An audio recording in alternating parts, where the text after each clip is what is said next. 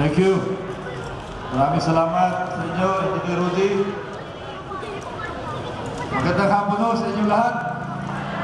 Magandang hapon dito sa Scarlett, sa E. Rodriguez, at sa lahat ng mga karating purok dito po sa inyo. Una-muna ay nais kong bumati sa ating uh, pamunuan dito sa Scarlett Homes. Ah, walang iba kundi ang uh, pamunuan na ang inyong uh, presidente ay si Ginoong Lucilo Ticena. Ako natin, si Lucilo Ticena sa buong ng kanyang mga opisyal, mga board members. And special mention po kay Lito Ladaw. At uh, siya muna ko nakausap dito sa proyekto ito. Kung ito'y simulan natin. Binabati ko din ang ating mura paroko na madalas na napupunta natin sa kanyang simbahan sa San Agustin Church, Father J.B. Acosta, gandang hapon po sa inyo lahat. At nandito ang ating mga elected officials. At ako po'y tuwang-tuwa na ang isa sa mga pinaka-iginagalang na konsihal ng Sudat, Oath in 1st District at saka sa 2nd District ng Paranaque ay nandito. Alam natin na marami siyang ginagawa, marami siyang mga assignments, ikot siya ng ikot, pero siya ay nagbigay ng panahon sa atin dito sa Scarlett para sa inaugurasyon ng ating Coliseum number 42. Konsihal Benjo Bernabe. Andito din ang iba pang mga halal mula po sa barangay Don Bosco. Bisita natin dito sa barangay uh, Bulwok, si Kagawa Jackie Bustamante Mendoza. Anak ko, anak ni Konsihala Baby Bustamante. Andito din ang kinatawan ng isang konsihal din, Konsihal Bar Soto, ang kanyang anak, Wahoo Soto. At meron po tayo mga kagawad mula dito sa barangay Bunok, Open Espiritu, kagawad Efren Reyes. Kagabi po ay magkasama kami ng kapitan ng barangay Bunok. Matagal kami magkasama, marami kami pinag-usapan, magaganda mga pinag-usapan namin. Ah, gusto niya nandito siya, pero meron po siyang obligasyon, meron siyang kasalan.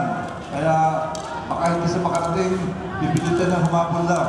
Kaya palakpakan natin, kawala kahit wala sa rito, ang ating kapitan, Mente at Bingula. At ah, kanina rin, at kagabi, magkasama rin kami ni Mayor ng matagal. Marami rin pinag-usapan, mga ganda. Ah, nagsabi rin siya na meron din siyang kasal. Kasabay din ito. Sapagkat ah, ito po ay Sabado, araw kadalasan ng mga kasal, mga obligasyon natin.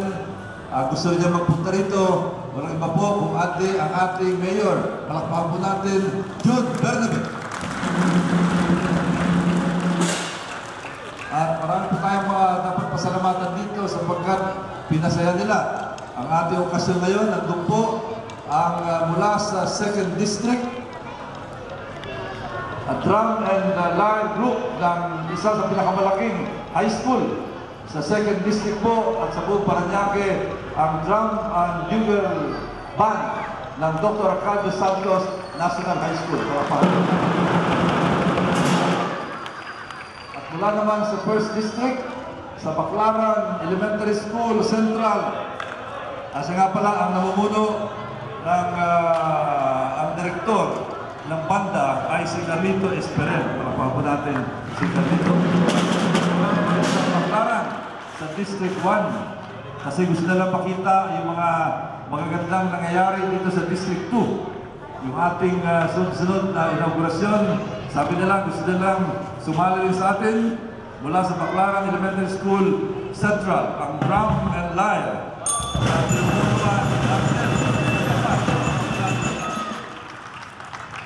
Nakita natin yung kanilang magandang exhibition, palapahan po natin.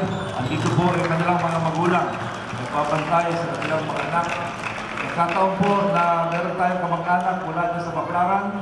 Ah, kaya napakadali para sa akin ang mag-imbita nitong uh, drum and lyre galing sa Baclaran Elementary School Central. Pakapakan natin si Ching Mapala. Ayan po. Na isa sa mga leader din dito sa Baclaran. Andito din ang Paranaque Raiders Club of the Philippines. Sila po, yung mga natulog sa mga kapita ng Nandito din mula sa San Antonio, Barangay San Antonio, yung ating pong ati-atihan sa pamumuno ni Kagawad uh, Ray Siloano. Parapakan natin ang ating ati-atihan group, pong mga nagtatanggol para malaman ng buong bayan na mayroong isang importanteng event na nangyayari dito. At uh, pasalamatan ko rin ang staff natin sa Kongreso at sa Congressional District Office at dito po tumulong sa pag-monitor at uh, sa implementasyon ng proyekto nito. Andito po si George Grady at si Bill Bargo. Palakuan po natin dito. At meron tayong uh, mga grupo dito. Ito po yung mga Taibo Group. Sila yata yung uh, nagbuhay naman na dito sa Lyceum number 42. Taibo Group na ang namumuno ay si Ding Aguilar. Tapos na yung grupo. Airo, Airo Taibo na namumuno. Palakan po natin sila. At sa inyo pong lahat, alam nyo, isa pong malaking kasiyahan para sa akin bilang inyong kinatawan na ialay ko sa inyo itong proyekto na ito na ang pondo ay galing din sa inyo. Ito po yung pagbabalik ng pondo galing sa inyong mga taxes. Hindi lamang yung mga taxes sa real estate, uh, real property, kundi kasama din yung VAT, kahit na yung mga batang ito. Pag sila bumibili ng mga school supplies, meron silang kontribusyon sa taxes na ating ibinabalik para po maipagawa itong proyektong ito.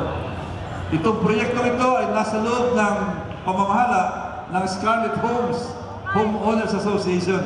Pero hindi lamang po Scarlet Homes ang makikinabang dito. Ito'y ayon sa ating uh, pinag-usapan ng liderato ng Scarlet Homes, yung mga kapitbahay, katulad ng uh, ito pong Isabel, yung Scarlet uh, Ibaba, panapakan natin yung mga taga Scarlet Ibaba na napakalapit dito. Yung mga taga E. Rodriguez, yung kahabaan ng E. Rodriguez hanggang doon sa may uh, lugar din na Kapitan Mente at Bingulak. Lahat to ng mga karating lugar sa San Juan, sa Santo Niño at maraming ibang lugar ay maaaring maglaro po rito. Ang importante lamang ay magkaroon ng koordinasyon.